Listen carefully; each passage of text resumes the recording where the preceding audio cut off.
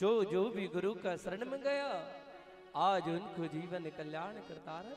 बिन गुरु, सुखदेव स्वामी जैसा जो बिना गुरु वैकुंठ गया तो वहाँ से उनको भी बचावणो पड़ो कि गर्भ योगेश्वर गुरु बिना ऐसा चली सो गया, सुखदेव हो, और जिनके भी वैकुंठ से बचा फेरिया फेर दिया सुखदेव, धन गुरु दाता देवता, जिन स्मरण नाम लखाया, और गुरु महिमा पल पल वर्णु, मारा प्राक्षित क्षण मन साया। देखो, जब से जीवन में हमको गुरु मिला, तब से ही हमारो जीवन है, अन्यथा जीवन नहीं है। एक बार एक बहू अपनी ससुराल में प्रवेश कर तो वो कोई गुरुमुखी घराना की थी? तो जैसे ही अपनी ससुराल अब और पतिदेव से पूछी, सासू जी से पूछी, ससुर जी से पूछी तो उसी समय सबना अपनो अपनो एक संक्षेप बतायो। वो के पतिदेव ने कही कि हमने भी गुरु महाराज से गुरु दीक्षा लिए छे सासू जी ने भी कही, लेकिन ससुर जी ने उसी समय एक महात्मा जी योग से उस घर प्रवेश कर तो वो लाडली बहू उस महात्मा जी को बड़ो सम्मान दे, क्योंकि जो गुरुमुखी बहन रहती हैं तो उसके घर कोई साधु संत आते हैं, कोई अतिथि आते हैं तो वो बहुत हृदय से सम्मान और स्वागत करती है। और देखो, आपका गाँव हो या आपको नगर या आपको घर, कभी साधु संत अतिथि आव तो सेवा करना कभी अपन पछी नहीं देना चाहिए, कि संतों की सेवा आपके जीवन में बहुत बड़ा पुण्य प्राप्त कर सकता है, बहुत बड़ा पुण्य हासिल कर सकता है। आप चाहे भले ही कोटि कोटि तीर्थ करा, करी ले कोटि कोटि धाम, रोज मंदिर पूजा, व्रत उपवास करा, और कभी अतिथि, साधु, संत की सेवा नहीं करा तो हमारो कोई व्रत, उपवास, पूजा पाठ ये सार्थक नहीं होना क्यों नहीं? कि सेवा का एक पूर्ण महत्व दियो हमारा महापुरुष ने। कि कोटि कोटि तीर्थ करे, कोटि कोटि करे धाम, और जब लग साधु सेवा न करे, तब लग सारा काचा काम, तब लग सारा काचा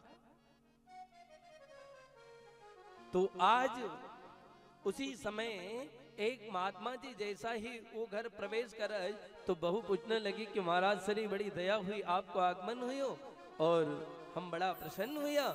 आज बड़ी नवनी तन मन धन से सेवा करने लगी। उसी समय उस बहू ने महात्मा जी से कही कि महाराज, श्री, इस घर की मैं बहू ये मेरी सास है, मेरे ससुर जी, और ये मेरे पतिदेव है।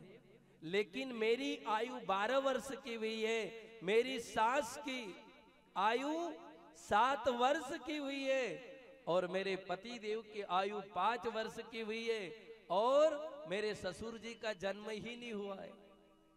तो महात्मा जी बड़ा धर्म संकट में पड़ी गया कह रहे बात कही थी कि बारह साल की उम्र है ना, ये तो सबसे पति से भी छोटी होगी, सास से भी ससुर से और ये सबसे ज़्यादा उम्र बतावे, और एका छोटी की सासू को कह, और सासू और फिर ओखा से छोटो पति देव चलो वहाँ तक तो सीमित पति छोटो होगा पर वो भी पाँच वर्ष को। और बोले ससुर जी का जन्म ही नहीं हुआ। तो महात्मा जी बड़ा धर्म संकट में पड़ेगा बहन आप बात कैसे कर रहे हो? मुझे बतलाओ तो सरे कि आपके ससुर जी का जन्म हाँ महाराज सरे मेरे ससुर जी का जन्म ही नहीं हुआ। और मेरी सास मेरी आयु बारह वर्ष की है और मेरे मेरी सास की सात वर्ष की और मेरे पति देव की पाँच वर्ष की और ससुर जी को जन्म ही नहीं हुआ। तो महात्मा जी बड़ा धर्म संकट में पड़ेगा पूछने लगा कि बेटी, लाडली बहू, पहले मैं ये बता कि आपकी बात कहूँ परिपूर्ण समझ ही नहीं पायो क्या बात कही कि महाराज जी? आप इनको, मेरे ससुर जी का अभी तक जन्म नहीं हुआ है। तो उसी समय महात्मा जी उस बहू से पूछने लगा कि बेटा, पहले ये बता कि थारा ससुर जी को जन्म कैसे नहीं हुई हो, और आप भी मुझे बारह वर्ष से ज़्यादा आयु की लग रही हो। आपकी सास की आयु भी बहुत कम बताई आपने, और आपके पति के भी तो ये बात क्या है? अब वो महात्मा जी भी एक साधारण तो विचार देख लो। कोई कोई साधु सादा भी रहे साधु बनना सरल है, लेकिन साधु होना कठिन। है साध कवाण्या सोयला, सुमती न आवे हाथ, साजन भोजन तो सब मिले, पर एक न मिले रघुनाथ। तुम आप खाली हाथ में कुबड़े लेना। भेटो वाणी न कमंडल हरी न अलग निरंजन जय महाराज, जय सिंगा जी की जय, ओंकार जी की जय, सीताराम, नर्मदे हर करी न निकलो। तो जनता जनार्दन तो मानक भक्त न का भाव छे, लेकिन साधुता भी कुछ होना चाहिए साधु न साधो नहीं रहनो उसका अंदर कुछ साधुता भी होना चाहिए देखो साधु बनना सरल बात है लेकिन साधु होना ही कठिन बात है आज सिंघाजी बाबा साधु बनिया नहीं साधु हुई धुनी वाला बाबा साधु बनिया नहीं साधु हुई लूला बाबा साधु बनिया नहीं साधु हुई सियाराम बाबा साधु बने नहीं ये साधु हो गए बुखारदास बाबा साधु बनिया नहीं साधु हुई का आज उनका उनकी जोत जलाई रही उनका झंडा निशान बड़ी रहा और उनका नाम के जयकारा तो क्यों नहीं हो कि हम साधु बना तो कोई नहीं देखो कभी एक साधु को खूब ज्ञान हो और अपना आपको का कोई ज्ञान नहीं। कहाँ देख लू कहा नहीं देख लू वही देख ही रो, काई बोल लू काई नहीं बोल लू सोच बोली रो। कहा यानी नाना प्रकार से उसको अपने आप का बोध नहीं, वो साधु नहीं, वो खाली सादा। हरि तो क्यों नहीं हो कि हम साधु, यानी कोई भी संत भक्त, हम सभी से निवेदन करा अच्छो, भगवान की भक्ति कर, ज्ञान को प्रचार प्रसार कर, और कहीं अचेत जीवन का चेतना दे। लेकिन साधु को ज़्यादा से ज़्यादा भक्ति बढ़ाने की ज़रूरत है, ज्ञान बढ़ाने की ज़रूरत है, अभिमान बढ़ाने की नहीं अडंबर बढ़ाने की नहीं। हम जीवन में कभी भी भक्ति का बढ़ावा, कभी अडंबर नहीं बढ़ावा। और जिन्न जिन्न अडंबर बढ़ाया तो वो कहीं एक दिन एक दिन वो ज़रूर अटबेगा। तो क्यों नहीं हो कि हम जीवन में भक्ति को बढ़ाए अडंबर न बढ़ाए तो ही हमारा जीवन सार्थक हो तो आज बहुत बड़ा निर्मल साधु था उसी समय जैसा ही जाए। और वो बहु न प्रश्न करियो तो महाराज, श्री धर्म संकट में पड़ेगा देखो, ये ज्ञान तो अथाय सागर से एको कहीं से कहीं तक था नहीं है। और वो बहु भी गुरुमुखी थी, और जो जो गुरुमुखी थे, उनका एक संत भक्त को दर्जो मिला। और संत की वाणी तो अटपटी होती है, वो सहेज में झटपट, उसको कोई समझ नहीं पाता है। संत वाणी अटपटी और झटपट लखे न जाए। और जो झट झटपट लखी ले तो का जीवन की सारी खटखटाई मिटी जाए। उसका जीवन की सारी खटखटाई मिटी जाए।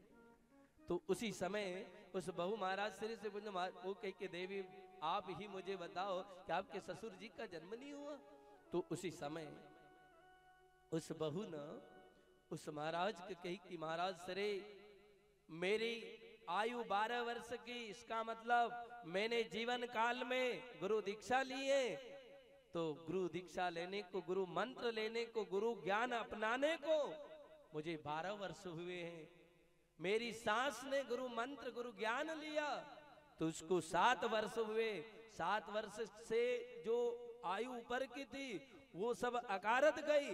मात्र सात वर्ष की आयु मेरी सांस ने हर सांस में सुमरण भजन किया तो मात्र उसकी आयु खाली सात वर्ष की है।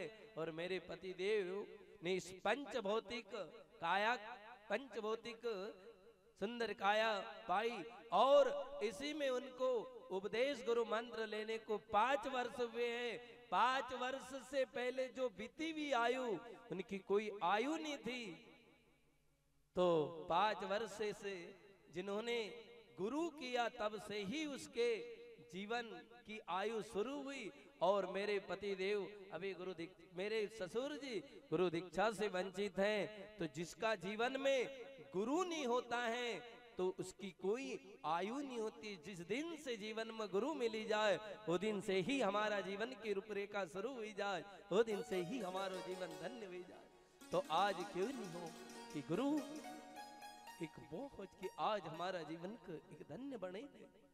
एक, ओ, जीव को एक मंजिल तक पहुँचे सके तो आज हमारा संत यही प्रमाण दे रहा कि गुरु, शिष्य का ऊपर एक पूर्ण रूप से कृपा कर गुरुदेव गुरु देव। गुरु तो देव है लेव नहीं, गुरु देव। गुरु तो खाली देना को काम कर।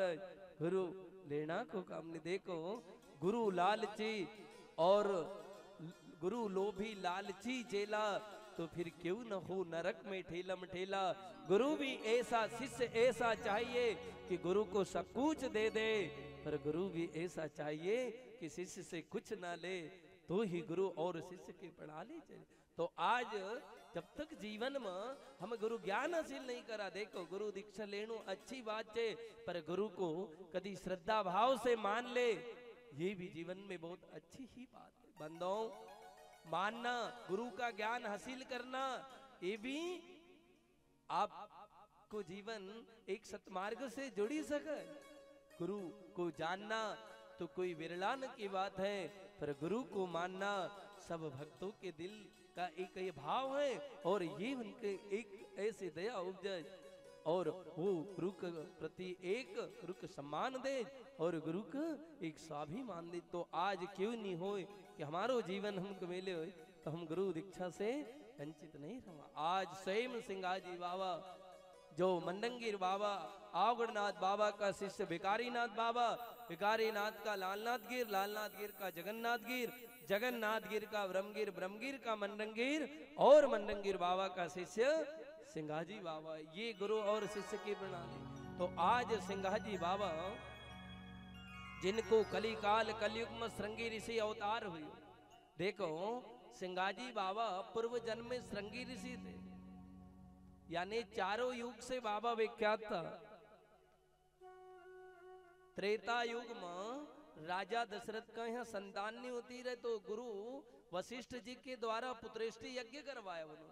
तो उसी समय उस पुत्रेष्टि यज्ञ में वशिष्ठ जी महाराज ने, महाराज श्री दशरथ जी से कहा कि राजन, इस यज्ञ में श्रृंगी ऋषि आमंत्रित हो गए और वो उनके भक्ति बल के द्वारा ने कर से यज्ञ कुंड में आहुति डालेंगे, तब ही ये यज्ञ भगवान प्रसन्न होगा, प्रकट होगा और तब ही आपकी समस्या का कुछ न कुछ समाधान होगा।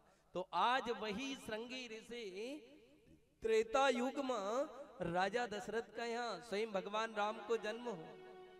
रामचरित्र मानस में बाबा तुलसीदास लिखे कि राम उसी समय श्रृंगी ऋषि का राजा दशरथ जी ने अवध्या में बुलायो, पुत्रेष्टि यज्ञ करवायो। तो उस यज्ञ को सफल करने के लिए स्वयं वशिष्ठ जी महाराज राजा दशरथ से कज और श्रृंगी ऋषि का आमंत्रित करण और वही श्रृंगी ऋषि उस यज्ञ सफल कर कि ऋषि वशिष्ठ बोलावा, पुत्र काम शुभ यज्ञ करावा। भक्ति सहित मुनि आहुति दिने, प्रगटे अग्नि चरु कर होली ने उसी समय वशिष्ठ जी महाराज आज संगी ऋषि का आमंत्रित